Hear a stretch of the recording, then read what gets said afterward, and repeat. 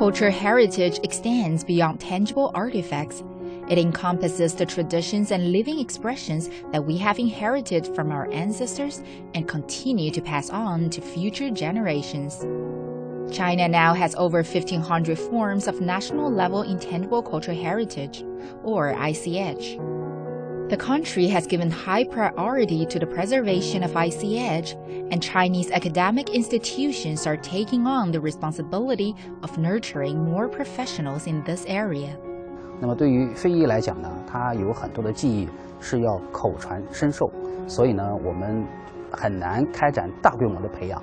那么更多的是采取了小范围的，呃，师带徒的这样一种形式来进行传承和学习。 Here at the Shanghai Art and Design Academy, a lacquer art class is taking place.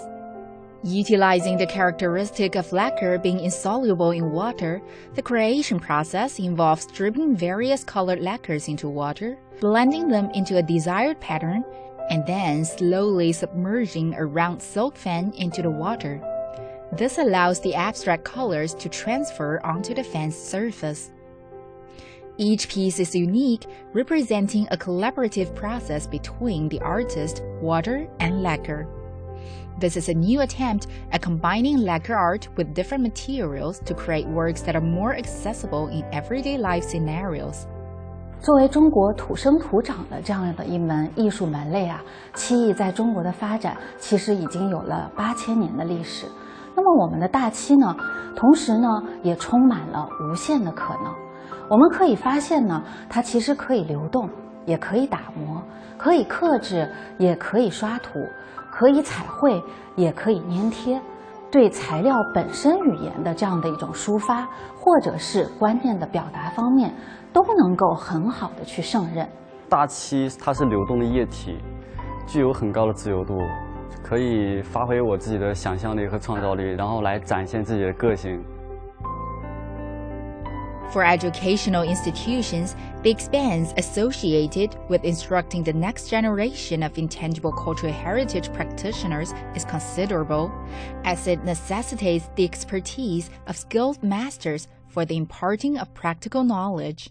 学校呢，主动成立了四十几个非遗的工作大师的工作室，遴选了我们学校优秀的毕业生，再增加一到两年的学制，由我们 非遗工作室的大师，呃，一对一的进行师带徒的学习，来实现非遗技艺的进一步的传承。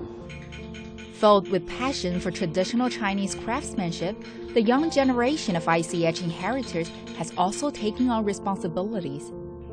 They not only become artists in related fields, but also pass on their techniques and understanding of the art to more young people in schools.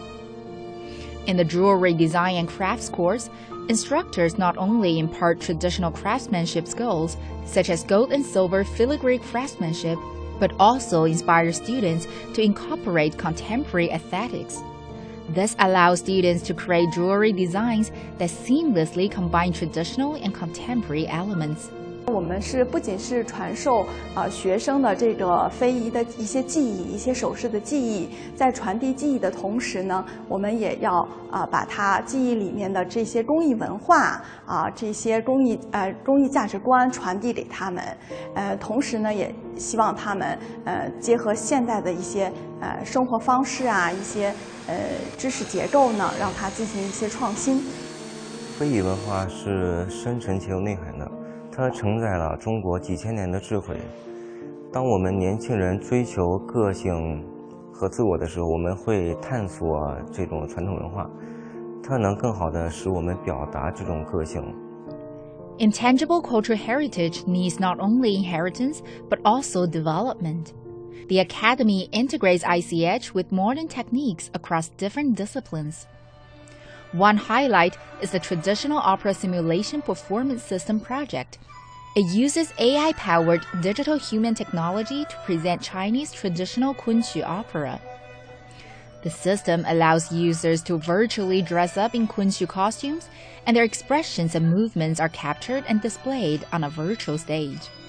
非遗文化一定要步入到老百姓的生活之中，能够便捷的 让老百姓能够看得到，能够能够接触得到。非遗文化也要随着现代的这个现代的文明的发展而不断的发展，啊，能够加入一些现代的一些技术手段，能够让现在的老百姓更加的从心里面喜欢去接触它。